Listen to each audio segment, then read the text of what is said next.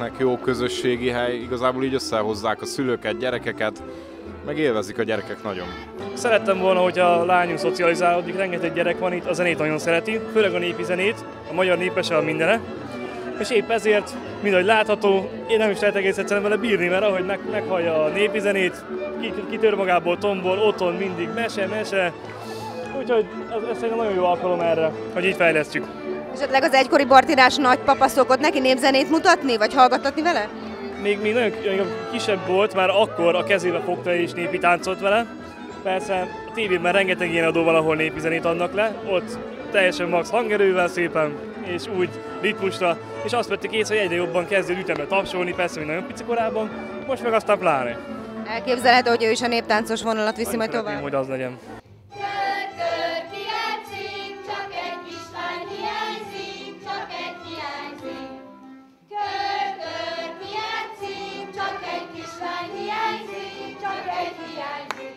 A legkisebbeket is megszólították a kultúrházak éjjel-nappal országos kampányban Szexárdon a Babics központban. Országszerte több száz kulturális intézményben készültek változatos programokkal. A Bartina Néptánc Egyesület táncházat szervezett erre a szombatra. Már volt a tavaly évben is egy ciklusunk, ahol négy táncházunk volt, és most szeptembertől kezdtük áprilisig, akkor pedig hat ilyen ciklusunk van, amiben ugye a legkisebbektől a legidősebb korosztályig is mindenkit fogadni tudunk. És hát mindig nagyon telt, hát most is rengetegen vannak. Igen, a, leg, a múltkorin számoltuk meg, hogy 58 pici volt, most nem tudom, körülbelül annyi lehetett most is. Hát itt az a lényeg, hogy a szülővel együtt, hogy a szülő maga is megtanulja ezeket a játékokat, mondókákat, ezek mind ilyen apró kis szólámis dalok, tehát ezeket könnyen meg lehet tanulni, de az lenne jó, ha ez mindennapi életükben benne lenne. Én erre kapacitálom őket, hogy, hogy hallgassanak zenét, mozogjanak a gyerekekkel, mert, mert a mozgás, a tánc az egy boldogsághormon termel, tehát ettől, ettől jól lehet érezni magunkat. A zenekar most Budapestről érkezett, ők a sokak által ismert és szeretett Zagyva Banda, akikkel a Bartina Néptánc Egyesület folyamatosan együtt dolgozik. Emlékeztek rá, múltkor csurgó zenekarunk volt. A csurgó zenekar azt az időpontot választotta, a Zagyva Banda pedig ezt az időpontot, úgyhogy szeretettel köszöntjük a Zagyva Bandát a zenekarok sorában. Tapsoljuk meg, tapsoljuk meg! Maga járja, maga járja, maga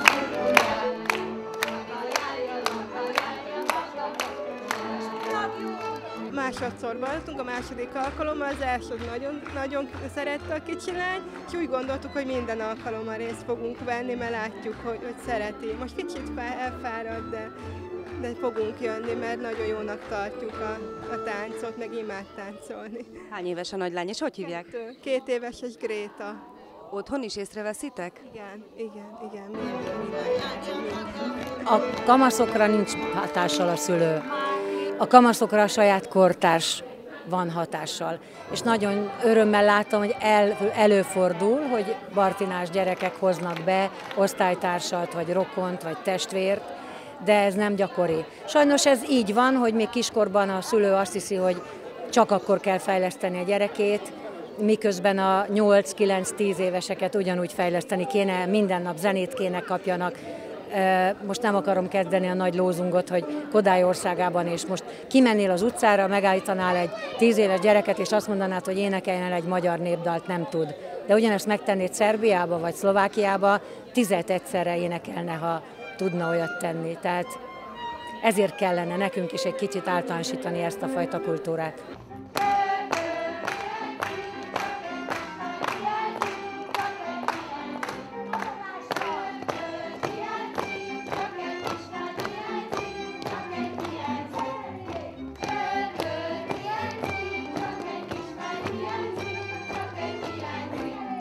Kislányom az Hát röviden tömören kapitány. és szabad szellem pont itt szalad mellettünk. Akárhogy szeretnénk megfogni a kezét és próbálnánk csinálni a gyakorlatokat, nem igazán. Fél, egy fél kör is már saját maga útjába. Úgyhogy meg, meg fog vele gyűlni a bajom, van egy nagy gyanúm. Ennyi idős? Ő most január 30-én volt két éves.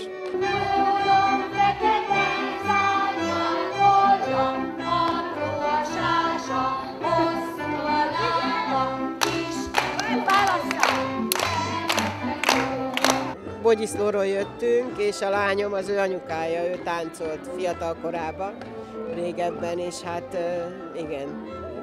Akkor egyértelmű volt, hogy a néptánc az az ő életükben is jelen van. Igen, igen. Úgyhogy már, hát most már voltunk már, most már másodszor jöttünk el. Lehet, hogy esetleg valamikor Bartinás lesz a kislány?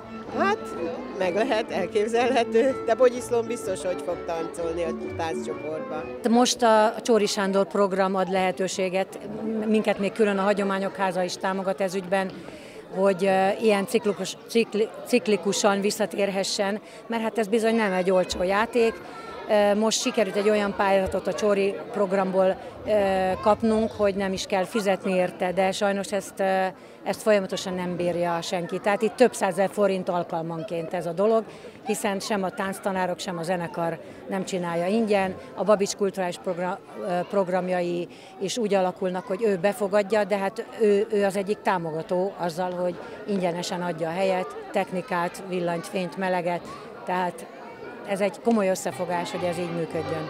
A táncház mellett előadásokra, vetítésre, koncertre és farsangi játszóra, mulatságra is várták az érdeklődőket Szexárdon egész hétvégén a Kultúrházak éjjel-nappal programsorozat keretében.